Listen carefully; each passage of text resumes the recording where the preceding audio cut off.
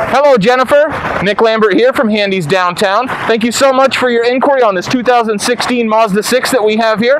Just wanted to make a quick video to go over a few features of the vehicle with you and introduce myself. Uh, this does have the HID headlights. If you come down along the side of the vehicle, you see it's on the very nice Mazda alloy wheels. Vehicle does have a good fresh state inspection sticker on it. You've got the color keyed mirrors here with the turn signal indicators on them.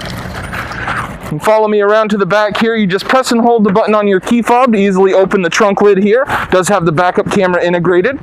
Uh, as you can see, the car does come with an extra set of wheels. You've got plenty of space for storage back here. Does have nice uh, Mazda alloys that also come with the vehicle. You can fold down the rear seats for extra cargo space if needed.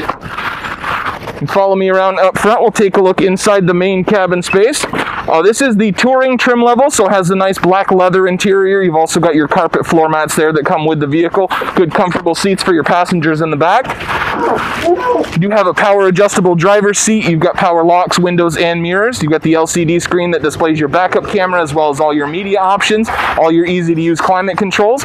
The vehicle does have the manual transmission and is equipped with the smart key system and push to start. If you have any questions at all about the Mazda or if you'd like to schedule an appointment for a test drive, please give me a call at 802-528-2219 or nlambert at handycars.com. Thank you so much for your time and I look forward to working with you.